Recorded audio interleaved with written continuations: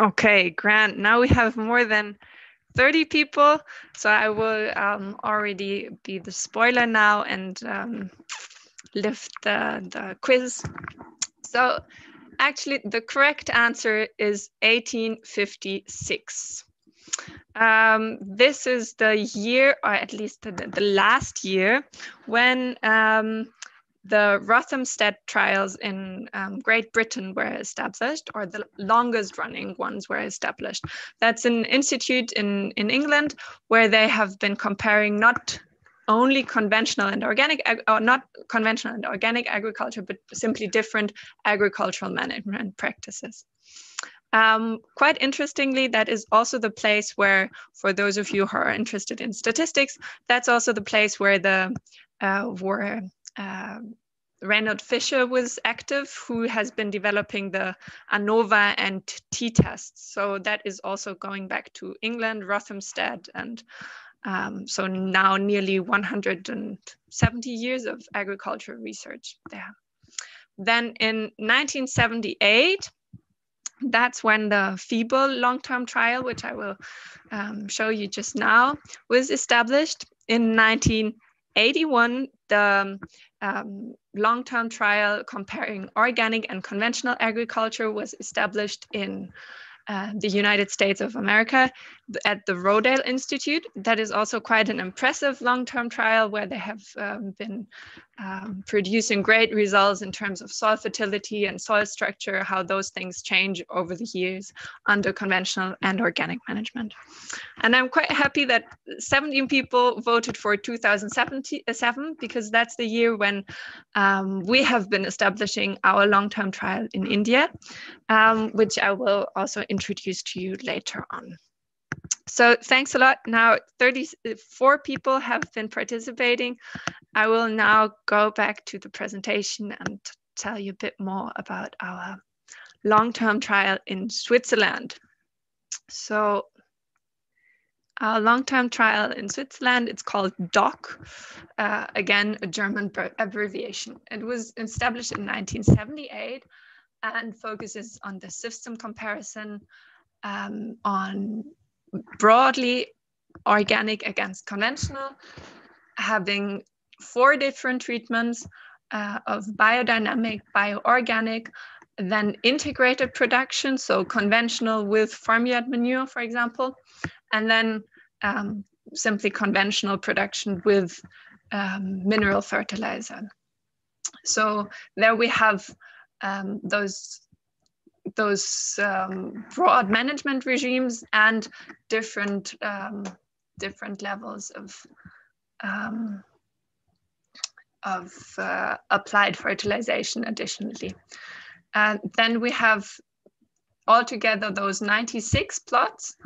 Um, and here you can see the broad outline of our area, which is actually quite close to, to where our institute is.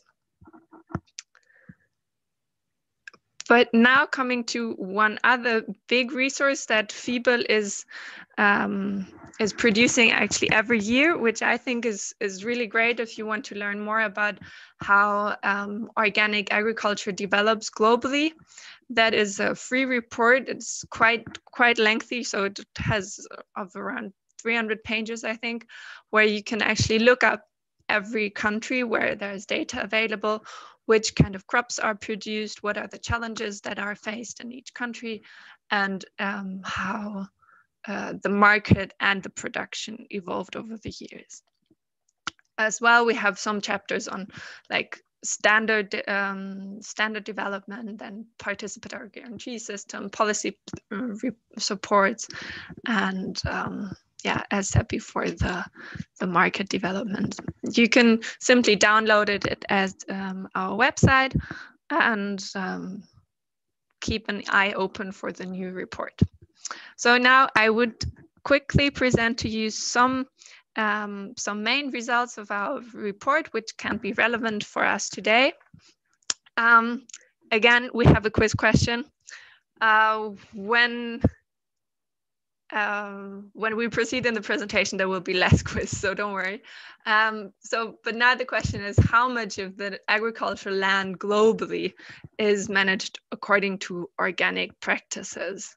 For that, we go again, you can simply stay in that browser where you have been before, or you go again to menti.com, use the code there, and then decide whether maybe you know even how many hectares are managed organic um, maybe you just guess, but um, yeah.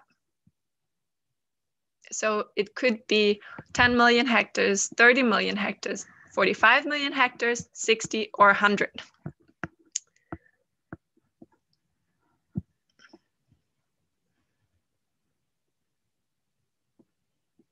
Great, eight people already there. We will wait again for roughly one minute.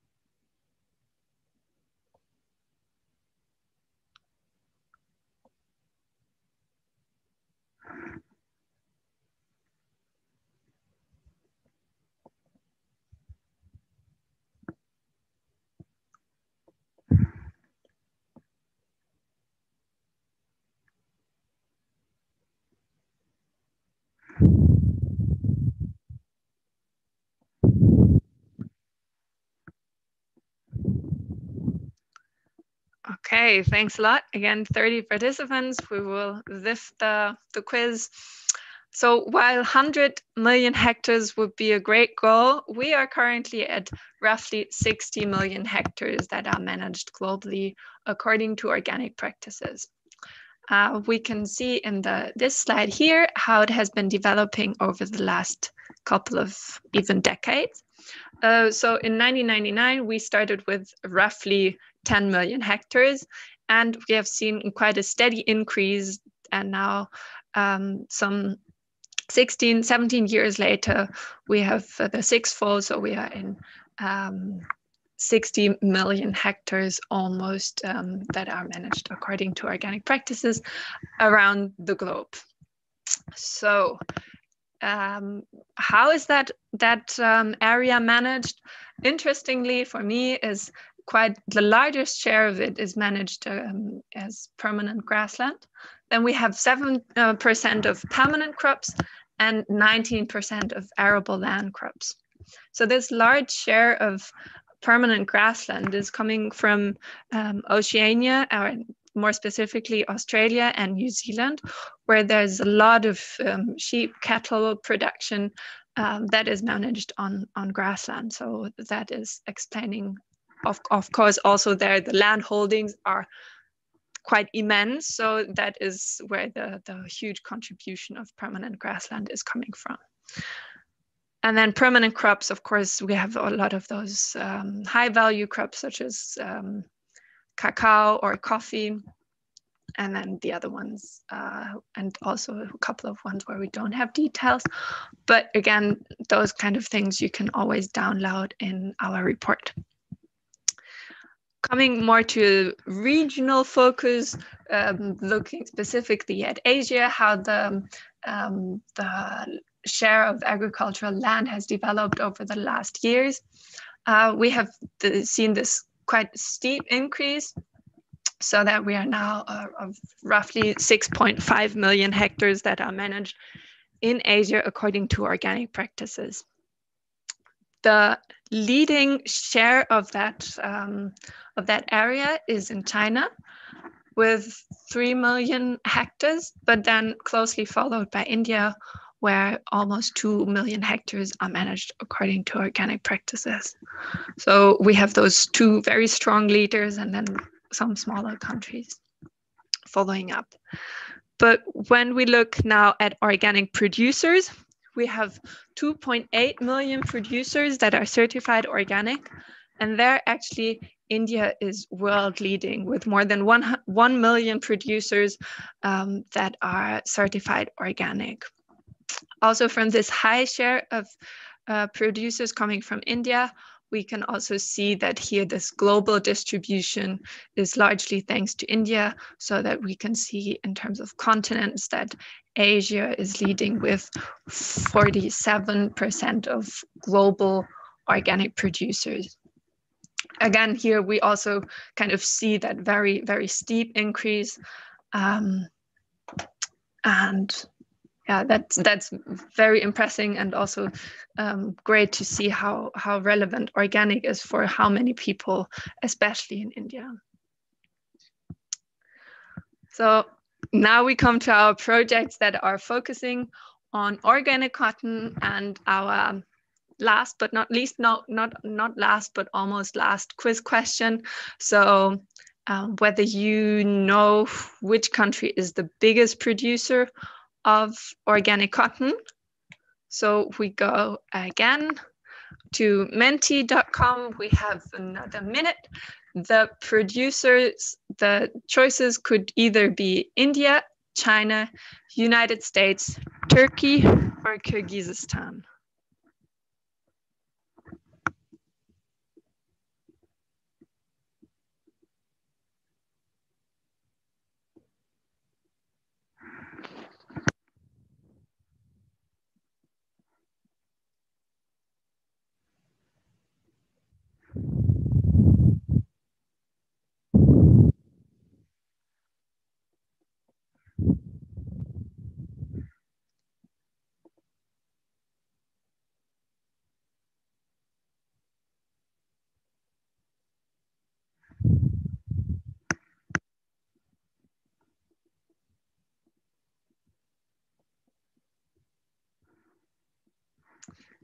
Great, thanks a lot. So most of you are right. The biggest producer is India. Interestingly, also um, one third of the people here voted either for United States or China. But let's look at the numbers. So we see India as the biggest producer globally, contributing to more than 50% of the global organic cotton production. Then second up is China with 70 17%. And, and third is Kyrgyzstan. So Turkey and United States only follow like, I think so Turkey is seventh and then United States might be fifth. Um, so quite different than one might assume, but I'm happy that most of you have already voted for India there. So organic farmers that are involved in India in organic cotton production is 166,000 farmers on roughly 300,000 hectares. So the average organic cotton producer um, is managing uh, less than two hectares if we go with those numbers. Then also going into um, India-wide statistics that of all the cotton that is produced in India, only a little more than 2% is organic cotton. But looking at the states that are the biggest producers in organic cotton, of course, we have Maharashtra, Madhya Pradesh, and Gujarat. But then for organic cotton, actually, the most important producer at the moment is Odisha.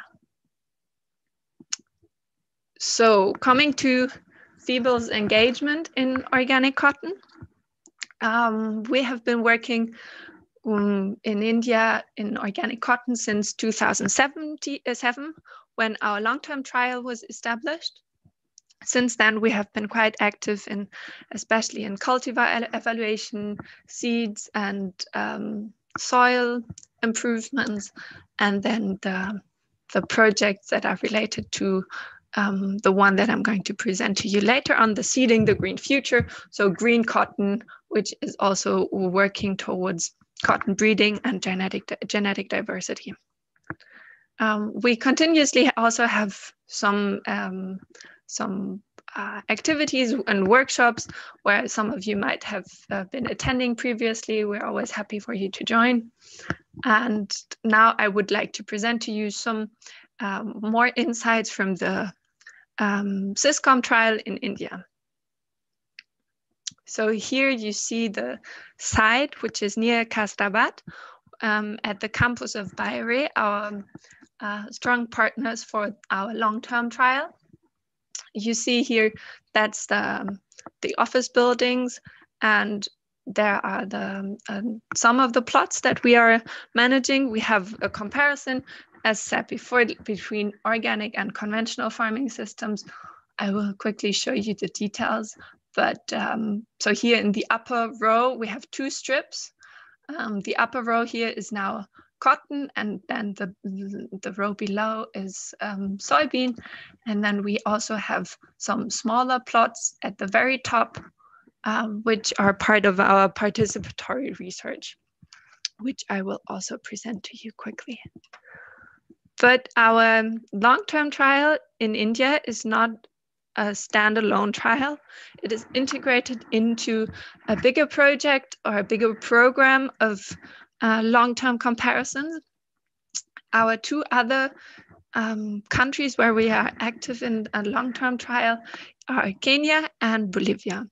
Each of the three countries has a different focus crop. So in Kenya, it is um, a maize-based system, but it has including um, it's including very different um, very different um, vegetables and is comparing organic versus conventional um, management practices, but at different levels of fertility. So a high and low input system. So also the high input system has um, more additional um, external inputs involved than the low input system. So there's one organic low, one organic high, one conventional low, and one conventional high. Then in Bolivia, we ha have um, we are working on uh, perennial crops. So the main crop is cacao, and we are managing those in either a monoculture or an agroforestry system. In the agroforestry system, we have um, plantains, coffee, and timber trees integrated, so it's quite a diverse agroforestry system. And again, here, one monoculture, one agroforestry is managed either organic or conventional. And then in India, as said before, our main crop there is cotton. It is um, a two-year rotation and it includes wheat and soybean. And our different comparison um, treatments are organic and biodynamic as two organic treatments, comparing conventional treatment with and without um, genetically modified uh, organisms as seeds. So here you see our crop rotation. So in conventional and con BT conventional, we have cotton followed by wheat, soybean, and then again wheat. Um, in organic systems, we have introduced that second wheat following after cotton only after a couple of years, because that is one of the suggestions that were made by the farmers that it is um, that it has been becoming a more common practice to have a second wheat after cotton. Um, but we are also trying to follow a best practice approach so that on one side in the long-term trial you face the difficulty that you need to have comparable treatments so you also have to keep them for a longer time similar otherwise if you change them every year and then it can it's quite difficult to to um, deduce any long-term effects. But we have been now substituting wheat with chickpeas. And from our first results, it is also performing way better than it was um, the second wheat. So now we have here in the organic and biodynamic treatments, we have cotton, chickpea, and soybean, and then wheat. From our results that we have seen over the last 12 years now, so that is a very simplified version, of course. Um, of the results, and I would highly recommend um, some of the publications. A new one is just coming out on productivity and profitability, but this is a bit of a spoiler here. So we in soybean we see quite similar yields. Um, as a leguminous crop, it performs very well in organic systems, whereas uh, when we look at seed cotton yield, there um, the conventional and BT conventional are performing better than the organic and biodynamic treatments. Overall, what we see as challenging for the organic production is the nutrient availability at key stages of the crop development, and of course, pest and disease damages.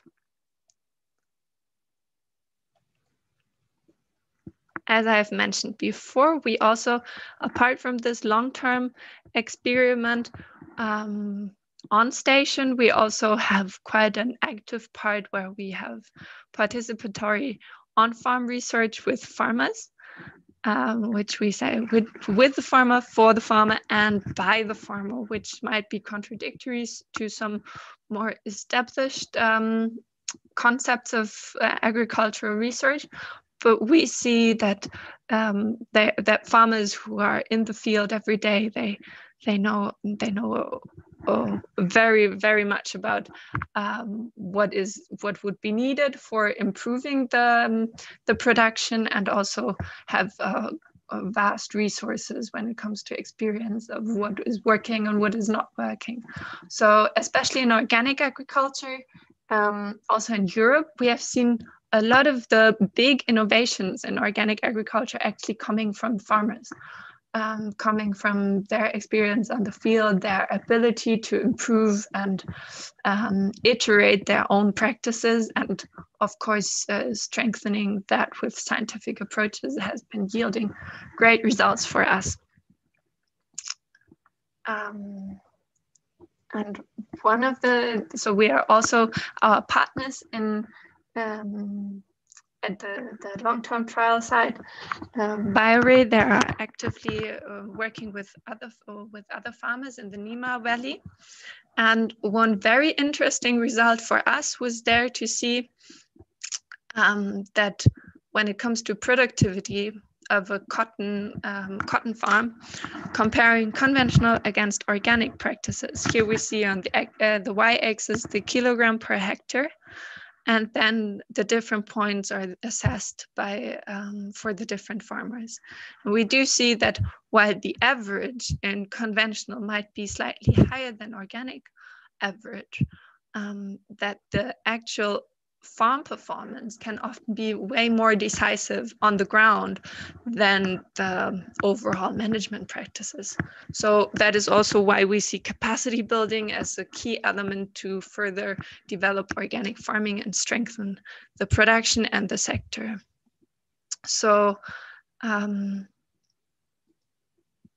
to give you a bit of the idea how we work with the farmer. We have this scheme of how our participatory on-farm research works.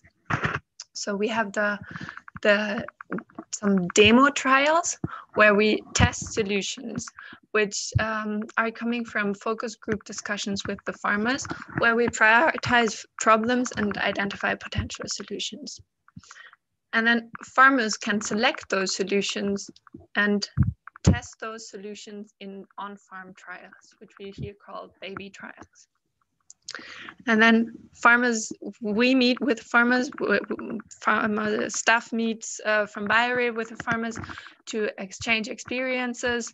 And um, we are working to modify the solutions that we have been previously um, um, supporting. And so we, we are going into this iterative uh, process of um, the solutions which we are trying to provide for the farmer, which in the end should, of course, improve their livelihoods. And we also see that, that involving the farmer in the research also strengthens a lot the, the ownership. So when farmers are able to to report back, we not only profit from that in terms of um, that we we have a vast resource of experiences there, but also that farmers are more actively engaged in finding the best solutions in their for their own field and for their own farm.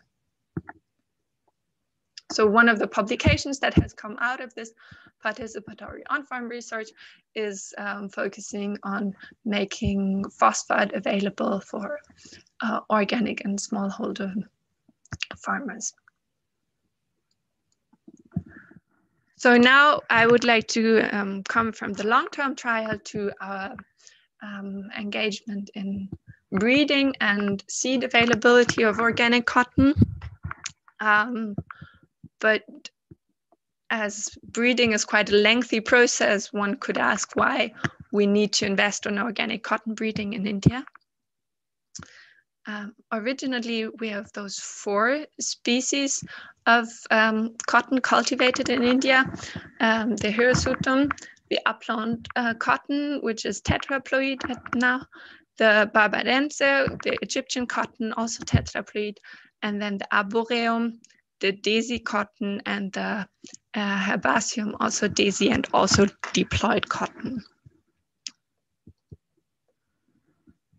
But um, there has been very little genetic improvements of non-GM seeds after the introduction of BT cotton.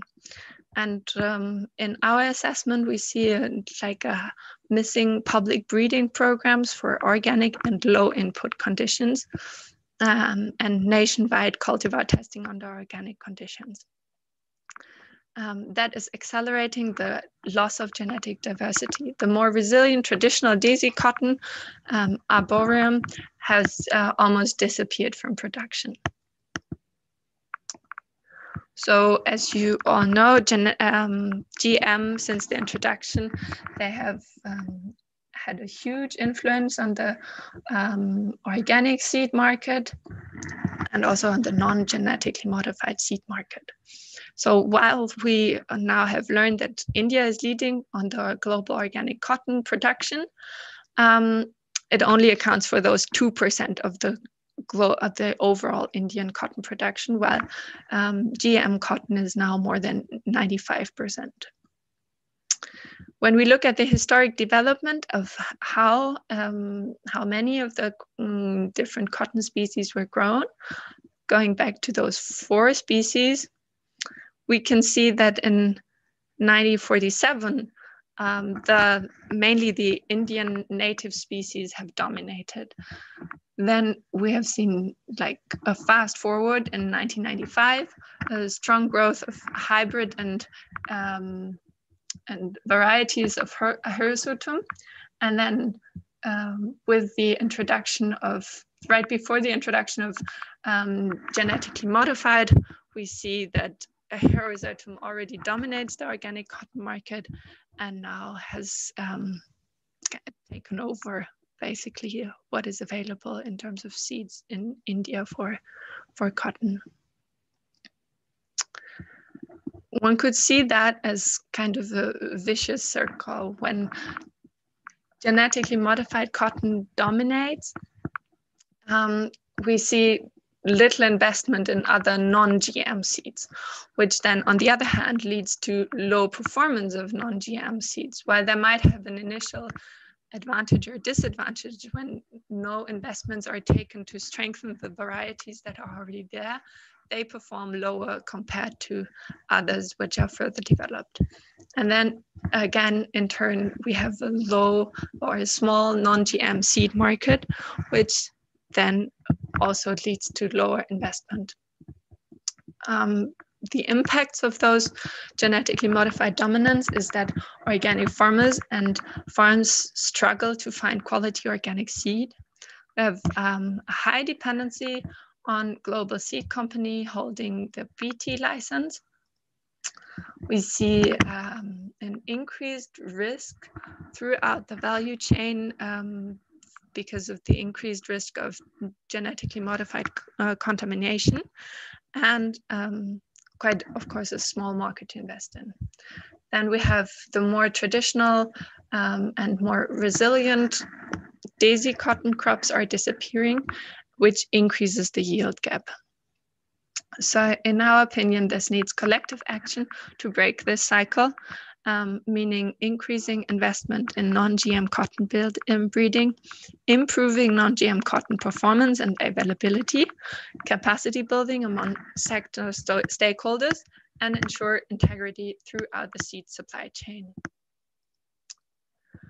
But why, again, why should fashion care, also coming back a bit to the title of our conference here, um, we see that the seed quality and seed availability is important for stakeholders in different ways on the level of markets, producers, and for the organic standards. So for markets, of course, they are important to take into account when um, having breeding um, programs because uh, when breeding for organic cotton, we need to uh, take into account the market requirements of fiber quality in terms of fiber fineness or staple length. Then on the level of producers, of course, it's, um, it's crucial to have um, optimized um, organic seeds to increase the yields and increase the tolerance to environmental pressure as well as pest and disease resistance. Um, a very, very important point is on the organic standards. As you know, that organic cotton has a limit of um, allowed contamination for GM um, uh, for GM cotton. So if there is little seed availability of approved um, organic cotton seeds, this risk of contamination is significantly improved, um, increased.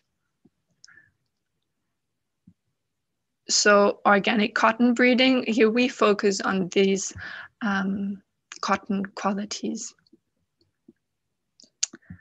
Coming to the objectives of the Seeding the Green Future program, we want to secure the quality organic seed supply chain for organic cotton farmers, to develop a portfolio of new organic cotton cultivars with improved agronomic performance, higher fiber quality, and it should be adapted to various local organic growing conditions, having also a high resilience towards climate change, and by involving the farmer, also um, ensuring a high adoption rate of farmers. And again, here um, it's important to, to emphasize the integrity of the organic so cotton supply chain at the source by capacity building and close collaboration of actors all along the supply chain. So we are working with farmers on the ground up to industry levels who are selling organic cotton jeans or, or other clothes with the overall goal to contribute to improving farmers' livelihoods. When we select for uh, for cotton breeding, we have different strategies in mind for organic cotton farmers. So one would be this intensive organic, whereas the other one would be low input and low risk. So high and high input and intensive organic can produce high yields, but also have quite high um, or relatively high production cost. And so the risk of crop um, in case of crop loss is is bigger. Whereas for um, resource poor farmers they might rather choose the, the, the low input low risk strategies where you can overall gain maybe lower yields but at the same time also have lower production costs but so that the overall income is still good. Um, but for this these kind of simplified two strategies for organic cotton production. We see also different varieties which might be suitable.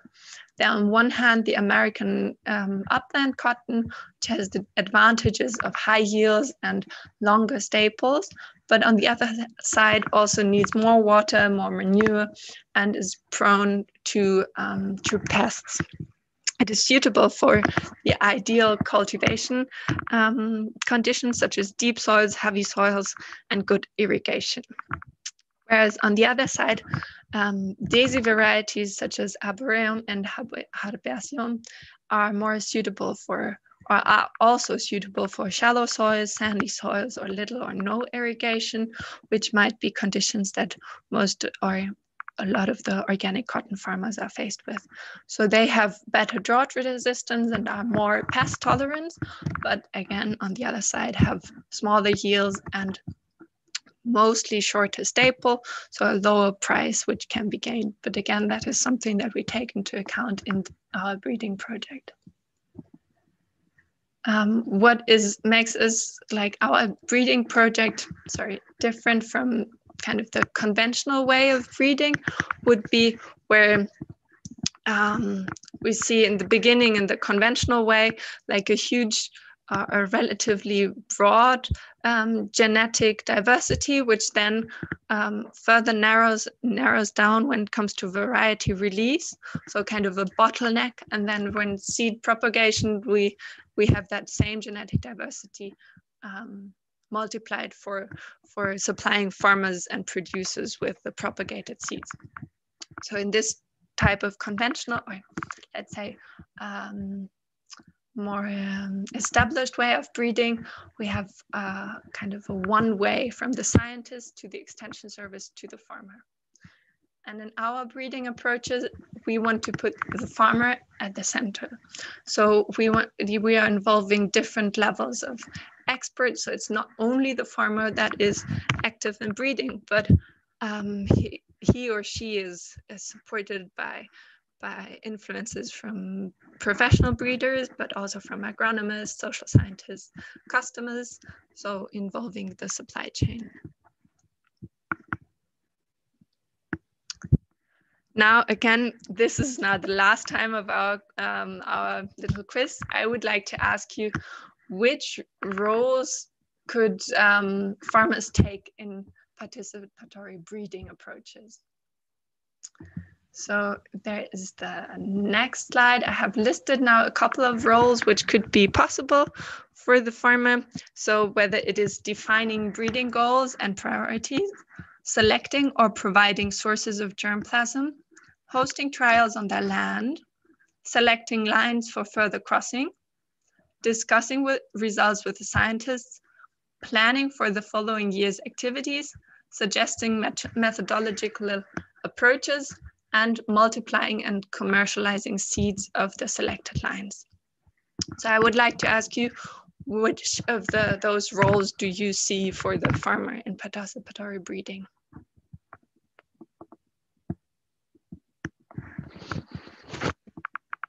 Again, we have one minute. I hope you're still having your Menti open.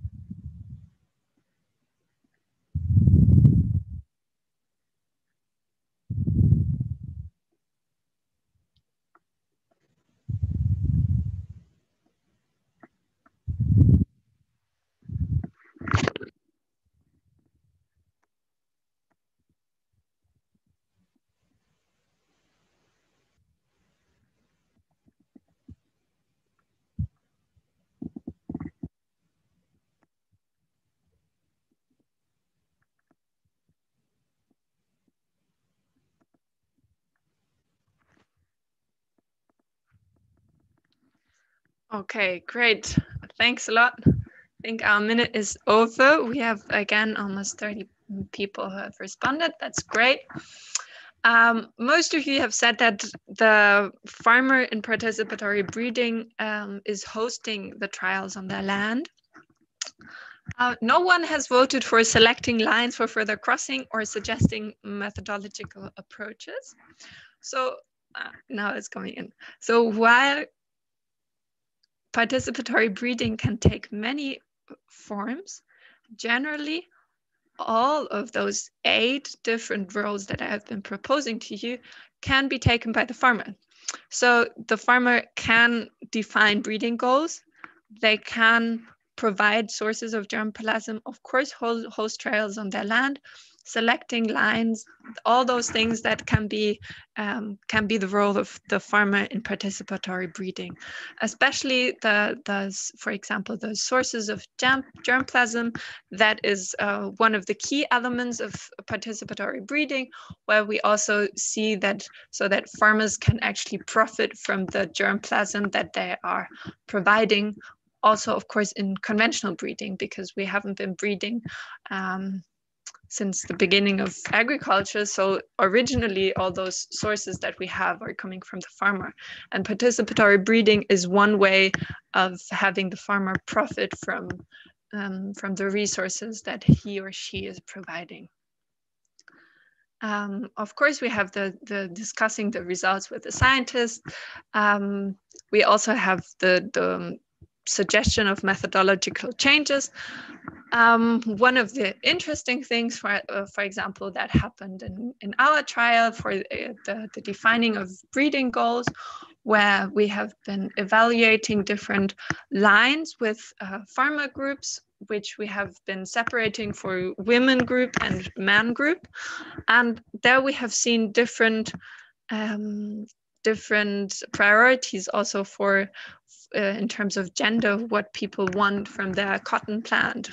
So women have been um, who are also actively engaged in harvesting right? They have been often quite um, voting for just easily opening bolls whereas men um, maybe not that engaged in harvesting they wanted to see big bolls whereas in uh, the women were, were focusing more on the practical approaches now.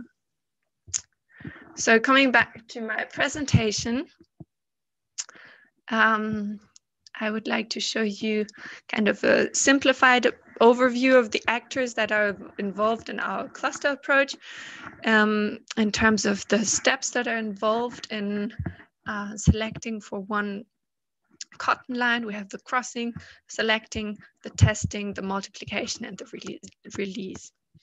Um, the crossing can initially be done by seed breeders, whereas then the selection um, is done by farmer organizations. Testing is on farmer field trials and small collaborating farmer organizations. Um, then the, this main cluster of the seed breeder and the farmer organization is responsible for the multiplication and the release of the um, selected lines and also then um, distributes that material to the farmer. So here we also have um, kind of sustain the um, the sustainability or the continuation of the the the project so that farmer organizations own or kind of have the responsibility to distribute and um, share the, the selected lines, but then also by involving the, the different actors and not just one industry level actor, we can be um, we are confident that the breeding can continue and that um, locally adapted um, lines can be optimized for the individual conditions. So here are some impressions from our evaluation of um, different lines with farmer groups um, again, here we look and also into the fiber length, which is um, essential for the for the price that can be gained in the end. We have those women groups, which have been really fruitful for us for in terms of information, what is important. And when we are able to address what is important to the farmer in the selection of lines, we can also make sure that the that the um, that the adaptation rate of the farmer is higher than um, when it's just coming this one way of, of knowledge and this one way of, um, of seed supply.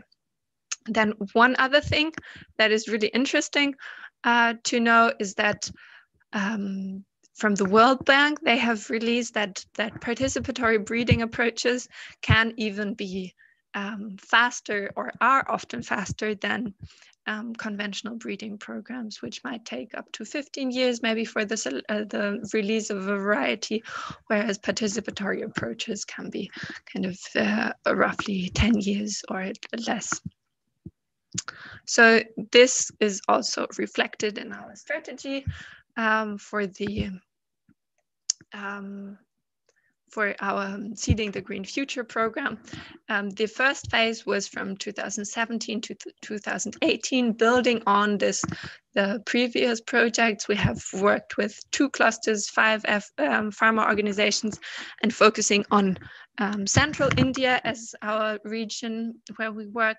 Then here we are now in the second phase where we work with five clusters and by now 20 farmer organizations and have included also Southern India and working now with 10 cotton lines. And in the third phase, which is to follow starting from 2022, we are working with 10 clusters, 40 farmer organizations, and also including Northern India.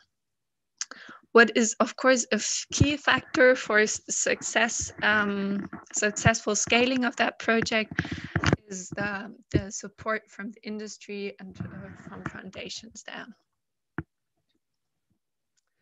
Here, I want to quickly acknowledge um, the partners that we are working with. So um, Chetna Organic, Pratibha, Cotton Connect, ASA, just to name a few, and our primary supporters of um, Stiftung Mercator and the Organic Cotton Accelerator, such as the Carrefour Foundation. And here you see a picture of some of the members of um, our project and by a field visit. So uh, what you could also probably access in the future is a manual that we are now developing on participatory on-farm breeding of organic cotton, which will soon be released. For any further information or resources, you can find us online on the website of FiBL.org, and there you can also find the, the um, organic world of organic that I have showed you previously. We have um, also um, a newspaper which is published every year, every month, but it's in, available in, in English as well. So the Bio Aktuell. Um, and then here again is the, the world of organic, where you can access the different yearbooks of the different years and see the country info information if you want to have um, graphs or maps for specific regions available. So with this, I would end. Um, I hope you have enjoyed the presentation and thanks a lot.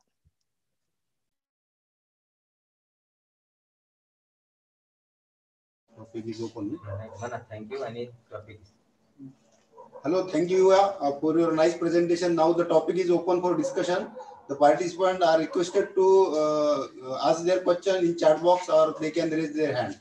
Andrew, are Andrew,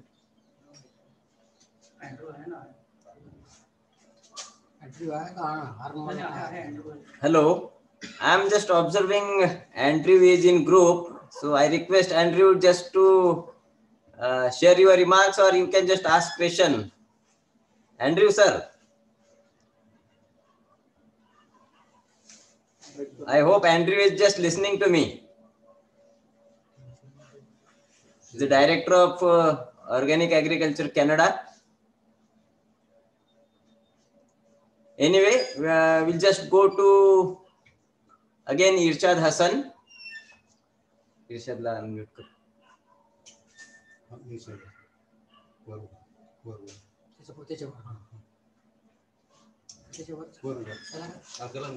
Irshad, you can just ask question. I think Irshad is not actually getting. So Dr. Sandeep Menon. Uh, sir, my question is uh, ma'am is talking about uh, the breeding of uh, organ GM cotton. So my question is whether the cultivation of GM crops is allowed in organic agriculture or not. can you repeat your question, please? Sir, my question is the use of organic, uh, uh, the use of uh, GM crops is allowed in organic agriculture or not? As per IFOAM? Yeah, you are please. Thank you. Thanks for that question. Um, no, it's not allowed in organic. Um, I think there might have been some, uh, when we compare different treatments in our long-term trial, there we do use um, BT um, cotton, but only for comparison. So those those uh, fields that are using BT cotton or are also managed according to other conventional practices such as application of mineral fertilizer or um, pesticides that are allowed in conventional, um, those are only there for comparison reasons. We don't count them as organic trials. So in our trial, we have two treatments in conventional and two treatments in organic.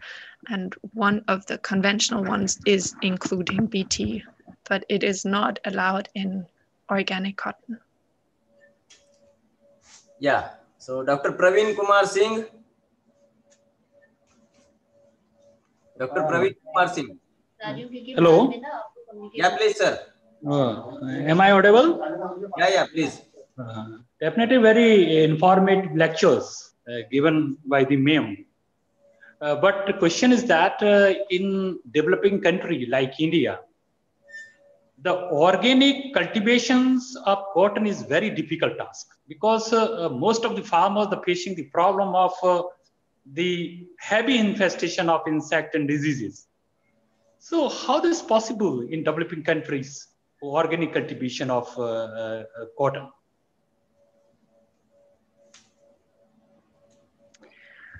Um, thanks for the question. So I, yeah, I think you're completely right that the pest and disease uh, management is definitely a huge issue that uh, we still need to address in research. Of course, that's one of our key topics there. Still, there are already um, quite a lot of um, well-working examples where people, farmers are able to uh, manage organic cotton in particular, but generally also other organic crops well without heavy levels of infestation. Um, it is um, essential in organic farming to, like as an essential principle, it would be to try to prevent the occurrence of those problems instead of having um, kind of a reactive approach. So only spraying pesticides once the infestation is already quite high.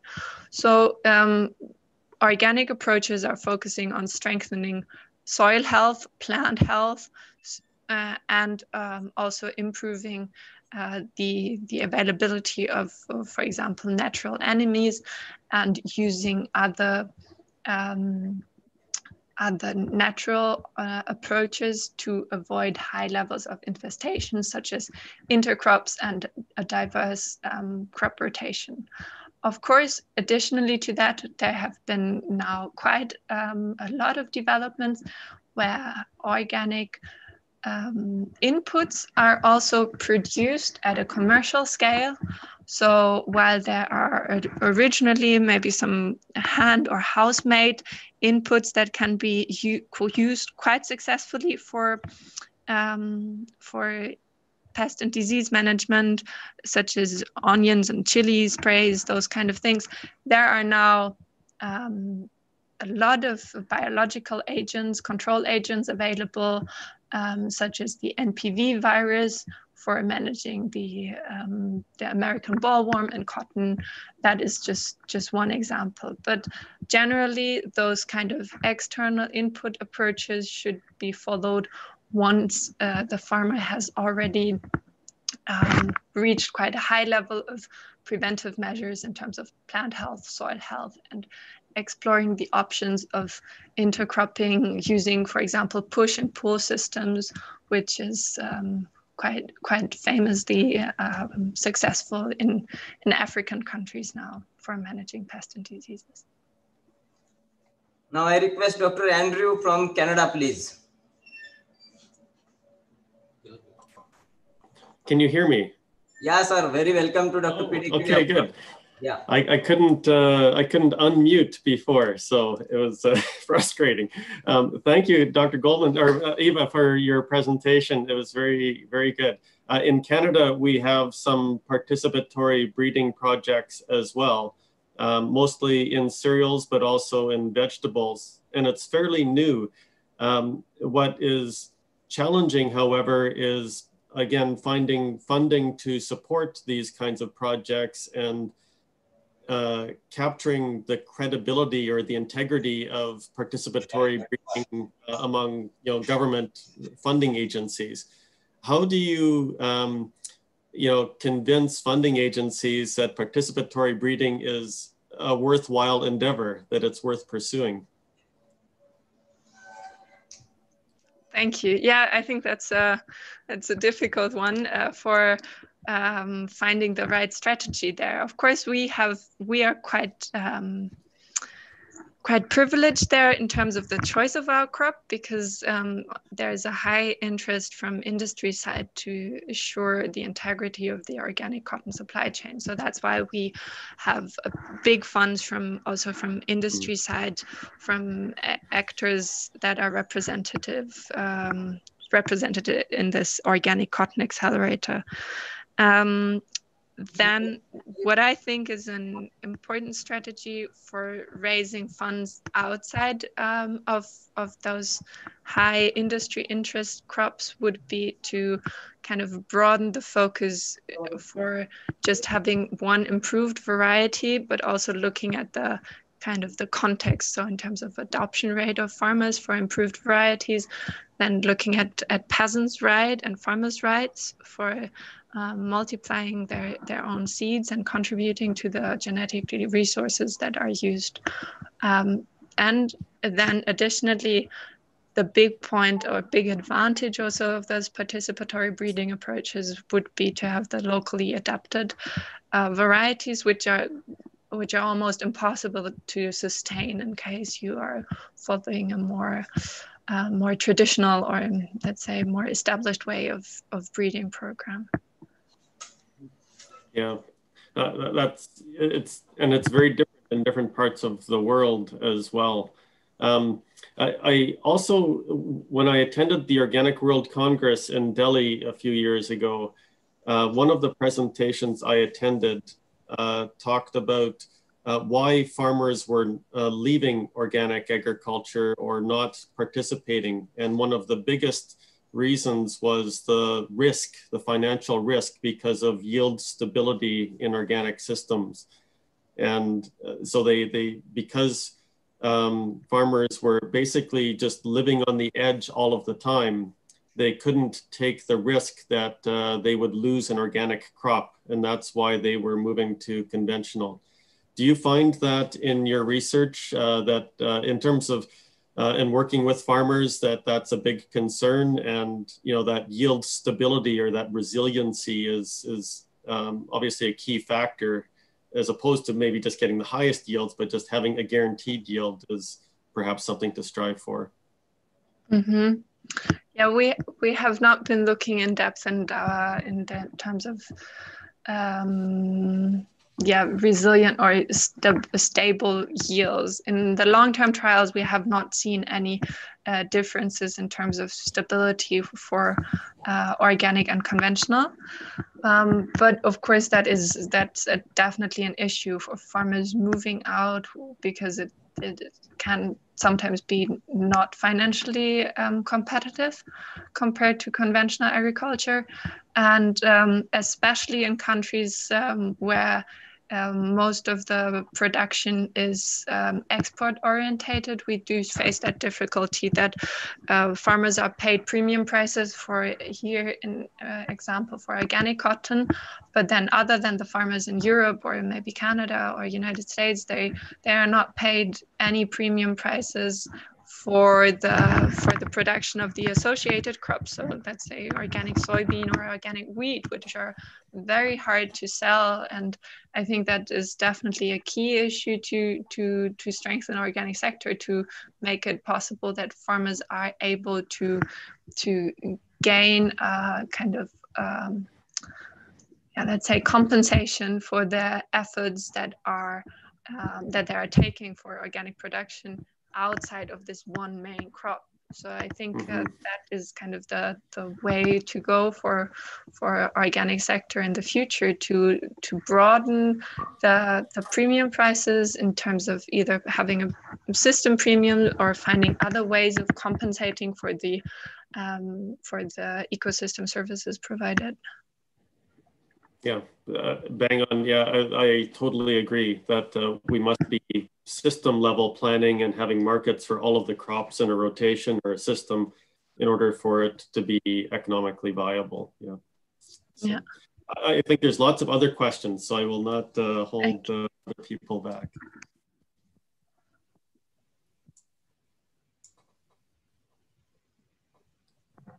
Are there other questions?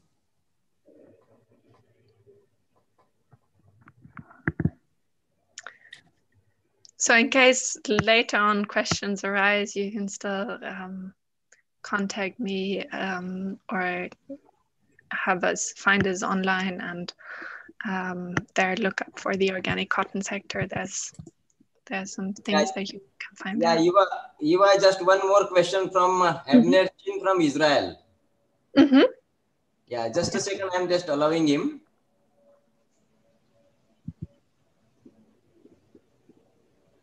Yeah, Hi. Abner. Yeah. Yeah, good afternoon. Good afternoon. Uh, uh, it's very interesting. Uh, I, I'm from Israel, uh, made in India, and uh, I, I thought I know everything, but here uh, these two days I'm learning beautiful things. So thank you, uh, um, Goldmann Miss, and uh, and the organizers. Uh, one of the things that I uh, uh, noticed uh, in India from the agronomy side is that you show the slide that had uh, desi uh, crop and uh, some other crop, and the root zone was restricted. Now, one of the things that I have experienced in India, in cotton, we don't do deep uh, plowing, you know, para plow or these things. And the, the instant we use paraplow, the root zone is very uh, uh, oh yes this one. Right. Thank you. And uh, the reason that the desi doesn't uh, um, um, function well is because of uh, agrotechnics because uh, mostly we plow in india with bullocks or something or even with the tractor the tractor is very shallow plowing. And i would recommend a, for organic and non-organic uh, to use once in a while paraplow that goes uh, it's a it's a kind of a knife that goes down deep to 60 80 centimeters. I think then uh, uh, our organic and non-organic uh, crop will be uh, uh, uh, um, with the real uh, the production will be high thank you Thank you. Hello. Yeah, you are. This is last question from uh, Mangesh Thakur. Mangesh Thakur, please. Ah, yes, sir. Hello, my question is uh, which species of cotton more sustainable under organic condition? hmm Yeah, I think there we already see kind of the the good slide for that because in our assumption we we see different strategies where there might be some farmers in organic that are producing quite intensively um, and are able to provide um, a high level of resources there we there they are they can be more adapted to using hirsutum uh, species but generally um, while arboreum not only has the advantage of um, of uh, being less demanding in terms of uh, conditions that is needed for a, a good production. Um, arboreum also has the advantage that it is um, that there is lot less chances of, of crossing out or with um, or less chances of contamination with genetically modified um, cotton. So, in generally, um, that is that is a, a very arboreum is a very important species or variety for for organic cotton farmers. But of course that de also depends on the individual conditions that a farmer is facing. Those are just kind of general recommendations to take into account when choosing the right variety.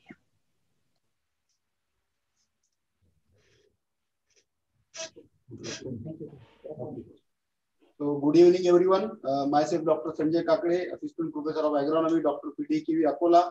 Feel very honored and uh, privileged having an opportunity to give thanks to today's speaker, Ms. Eva Goldmann, Scientist FiBL, for very nice and informative presentation for the participants of this international training course.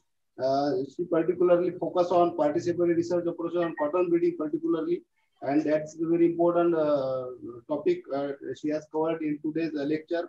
I also extend my sincere thanks to course director uh, of this international training course, our Honorable Vice Chancellor Dr. V.M. Bhale sir. Uh, because of his inspiration, this training is possible. Also, I am very thankful to Chief Scientist Center for Organic Agriculture and Training Center, Dr. A.N. Paslawar sir, and his team, Dr. Konde, coordinator of this training, uh, Parishik Group, and his all the uh, team of uh, this court, Dr. PDKV Akola, uh, I am also grateful to the, all the participants from uh, different states of India and abroad uh, for nice participation and some queries from their side in this in this session. So I am also thankful to all the uh, participants who actively participated in this uh, uh, training session, particularly the ARIS staff of this Dr. PDKV Akola for providing the facilities to this training program. So thank you, one and uh, now I request Dr. Konde to have some instruction for tomorrow's session. Thank you. And uh, thank you very much, Eva, because I have disturbed many times since last two, three days, but uh, it just was for very much for joining and it was a very nice presentation. Thank you. Thanks a lot. So friends, uh, today it was a unique day because uh, uh, we called, we, we can just call it as a woman day because three presentations were delivered by the women and uh, again uh, the tomorrow morning one more session will be there who will which will be actually delivered by uh, dr paula from italy so friends for tomorrow uh, you all are requested to join at 13:30 that is 1:30 uh, in pm 1:30 pm in afternoon particularly not in the morning itself because uh, as per the convenience of Dr. Paula, we have uh, just uh, organizing her lecture at 14 hours. So before that, Dr. Yogesh Ingle will be delivering one practical uh, on uh, disease management. So accordingly followed by Dr. Paula will be delivering her lecture. So the link will be shared uh, in the evening itself. So you can just join by 13.30 tomorrow. So good luck for today and uh, definitely we'll uh, meet uh, tomorrow uh, afternoon. So thanks a lot everyone and thanks you again. Thank you very much. So, so.